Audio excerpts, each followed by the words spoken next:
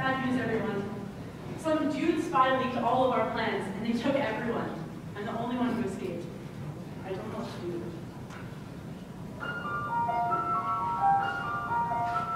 I've been running this protest